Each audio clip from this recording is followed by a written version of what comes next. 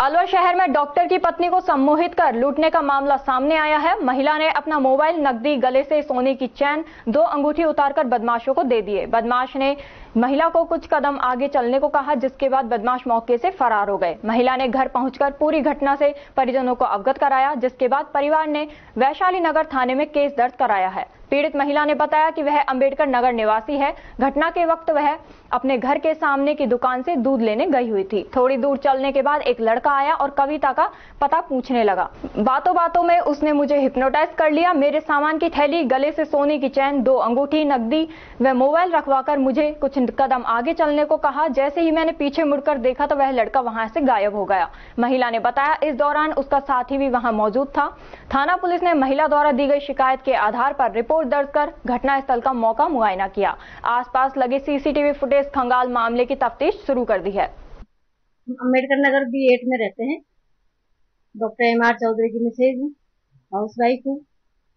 तो मैं क्या है, शाम को सामने से दुकान है, साइड में तो सामान लेके आ रही थी पूजा का। एक दो लड़के थे। एक तो जैसे मैं हम आ रहे थे तो एक तो शायद मेरे पीछे पीछे था वो। तो जैसे मैं आ रही थी तो मेरे से कविता डेंटल का वो पूछा है उन्होंने एड्रेस मैं बोली भैया मुझे नहीं पता। तो मैं आगे हो गई तो जैसे मैं आगे चलने लगी तो वो लड़का मेरे साइड से आके और एकदम मेरे सामने आ गया। और उस लड़के को क्या नाम में लड़ने लगा है। तो तू आंटी से क्या पूछ रहा है? तो बोला भैया मैंने ऐसा क्या पूछ लिया? आप इतने क्यों बढ़ गए हो? मैं क्या नाम मैं ये पूछ रहा हूँ कि भाई आंटी उसका एड्रेस आंटी को नहीं पता तो मैं बताता हूँ क्या एड्रेस पूछ रहा है। मतलब मेरा फेथ अट्रैक्टिव करने के लिए क्या नाम मैं उसने ऐसा किया। हम्म। तो मेरी साइड में क्या आंटी आप क्या नाम मैं कोई दिक्कत नहीं मैं कर। मैं भैया मैं जा रही हूँ आप करो। तो उसने इन्होंने ऐसे मतलब एकदम साइड से गया तो कुछ ऐसा किया या फिर क्या हुआ पता नहीं मुझे। तो मैं उस वहाँ से चल नहीं पाई। मतलब आपको पूरा? हाँ जैसे मैं जाने लगी तो मेरे को जाने नहीं दे। और मैं कोशिश ये कर रही जैसे पैर उठाऊ तो उठ नहीं रहे मेरे पैर। हम्म। और फिर मेरी तरफ़ से उसको उस लड़के को प्रेमित किया है भाई वो दोनों की तो चाल थी। हम्म। तो सर आपके नाम में वो भाई आपके तो बहुत बड़ी वो है और क्या नाम है आपके तो घर में बीमारी है और ये ऐसे उसको जहाँ से देखो उससे बोला मैं मान जाऊँगा तुझे ये बता कि मेरे क्या बीमारी कौन बीमार है मेरे घर में? क्या आपकी माँ बीमार है? तो भैया उसके पैर छुए।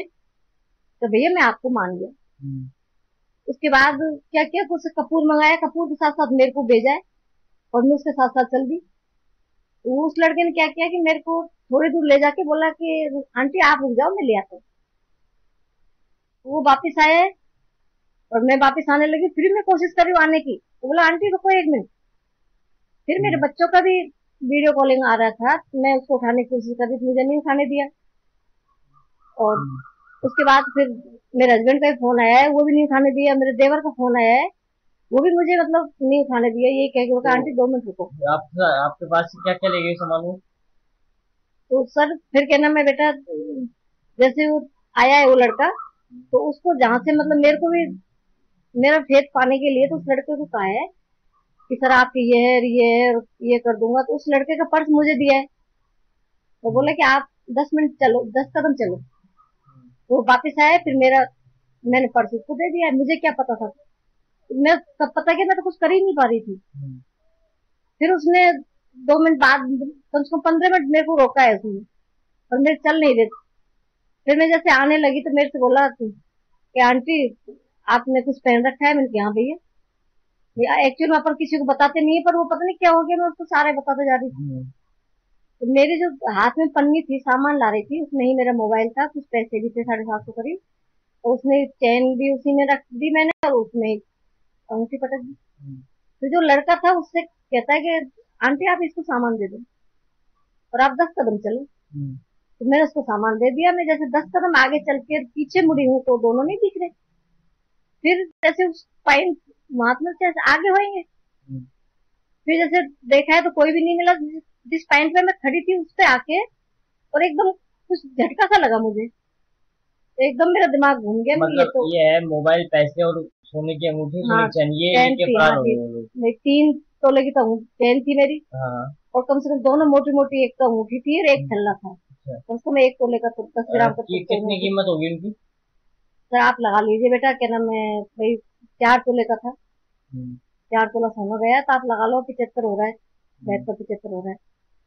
तो चार साढ़े तीन करीब तो आराम से। मोबाइल था मोबाइल में पैसे भी थे। तो आपने फिर वैशाल नगर थाने मामला दर्ज कराया? हाँ दर्ज कराया है। उसके बाद मैं तो घबरा गई तो फिर ये भी सोच रही हूँ कि भाई मैं अब कुछ होने वाला नहीं है। हम्म। तो फिर एकदम मैं कि मैं डॉक्टर साहब को तो फ़ोन करूँ। हम्म, फिर मेरे पड़ोसी घर गई हूँ। जैसे मैं पड़ोसी घर गई हूँ तो सारे एक साथ वो आ गए मेरे साथ फिर वो मेरे को लेके गए थाने मामला दर्ज क्या उसके लिए लेके गए थे भाई मोबाइल ट्रैपिंग कराएँगे। तो मोबाइल तो वो कहीं आगे जाके फेंक गए रस्ते में। तीन सौ किलोमीटर की रेंज जा रही है पर मोबाइल अभी मिल नहीं रहा। क्या नाम है आपका? मीना चौधरी। तो थाने में फिर वैशाली थाने में डॉक्टर साहब भी आ गए हैं फिर हम वैशाली थाने में हम रिपोर्ट भी दर्ज कराई है।